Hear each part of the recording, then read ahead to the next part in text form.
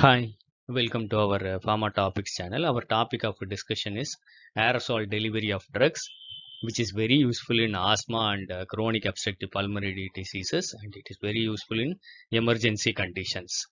Four classes of anti-asthma drugs are available: beta-2 agonists, anticholinergic, sodium cromoglycate, and steroids that can be administered by inhalation route.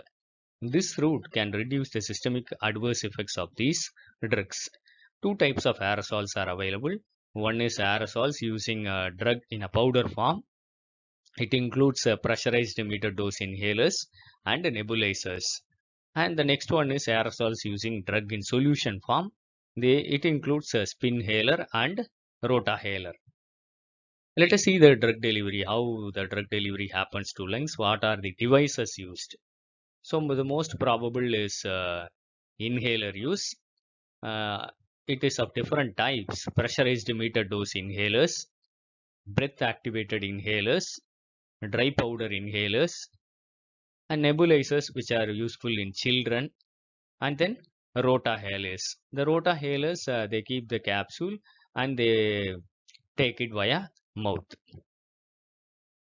Let us see the use of inhalers with spacers.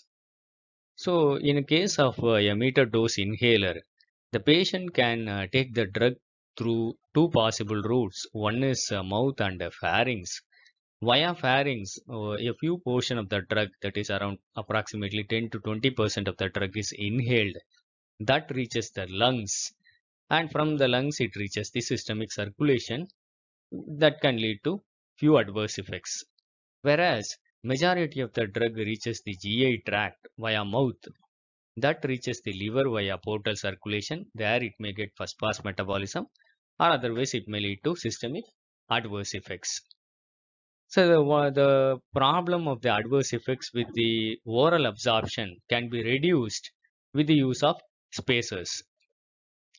See the use of uh, the inhalers requires proper coordination. It requires deep inspiration for the inhaler activation if the patients are new or they have difficulty in uh, using this technique, they can use the spacers, which reduces the requirement of coordination and that can reduce the systemic adverse effects also. So this video is a very short information of the use of inhalers, aerosol delivery of drugs, the uh, spacers, how far it is useful. I hope it will be useful for you. Thank you for listening. Happy learning. Kindly share this to more of your friends. Kindly subscribe to our Pharma Topics channel for further updates. Thank you.